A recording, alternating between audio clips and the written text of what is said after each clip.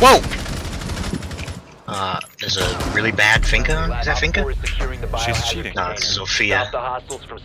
Sophia's super low. Same as you. What's your primary? She's a cheater. She's actually cheating.